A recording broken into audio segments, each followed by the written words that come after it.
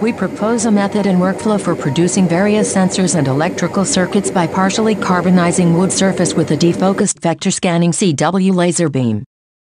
Our method realizes natural interaction in scenarios that are more similar to our daily lives because it integrates sensors and wiring patterns into objects while preserving the warmth of wood. Similar to wiring on a conventional PCB, the carbonized part functions as a conductive electrical path.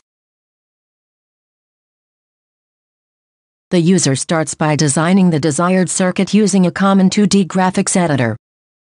All circuit paths are composed of lines to use a vector scanning laser beam. Larger contact points are prepared using comb-shaped lines. Once the user is satisfied with the design, it is exported to a laser cutter. To generate a sufficient amount of carbon in a short time, we use a defocused vector scanning laser beam and apply moderate heat repeatedly. We also set the power parameter lower and the speed parameter higher than those that were used for standard cutting. In the final step, the user connects the microcontroller or PCB to the carbon circuit using common screws and nails. To increase the connection area between the carbon and the screw, washers and nuts can be attached to the screw.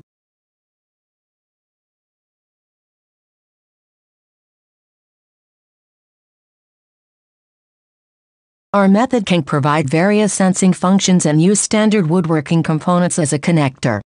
Application to wallboards with touch switches. Our method that enables novel touch sensor applications for smart homes, such as home electrical appliance control boards.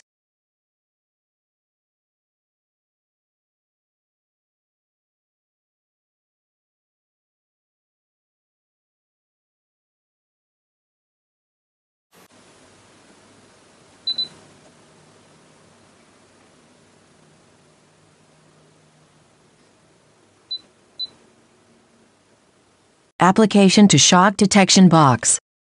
Our method realizes damage sensing that can detect if the wooden box has been carelessly handled. We use the capacitive sensing of a smartphone touchscreen to detect the breakage of the path.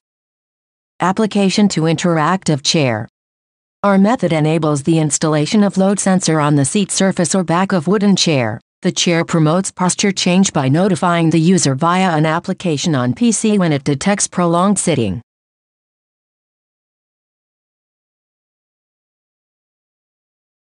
Application to sound volume controller. Our method can realize dial type controller using rotation angle sensor. The volume can be controlled by reading the continuous change in capacitance that is caused by rotation the dial. Application for connection to various woodworking components.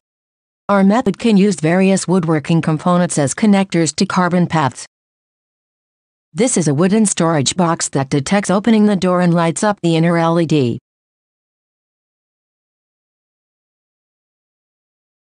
It is also possible to detect the opening of doors using touch sensing with a metal doorknob.